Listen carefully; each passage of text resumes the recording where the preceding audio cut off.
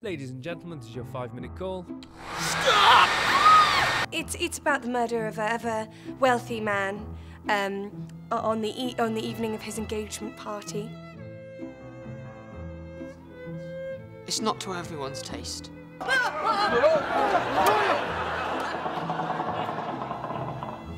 Yes, there were, well, there was a woman who said that she enjoyed the end. She said it was very moving. She enjoyed that it ended, and she said she was happy to be moving on.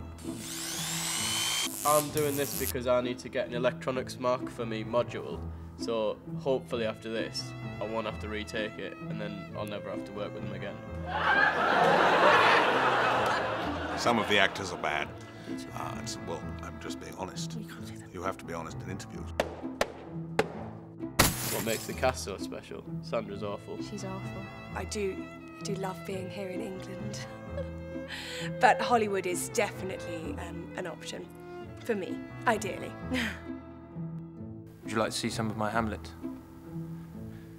Is it me or is it not me? That is the question. If the audience wasn't there, the production wouldn't happen. A lot of productions have happened where there's been no audience at all. When you're doing theatre, you make friends. We, yeah, it's, it's good to get to know people. I feel fairly, fairly confident that it's all going to go okay. Name another murder mystery on the West End. I mean, can you?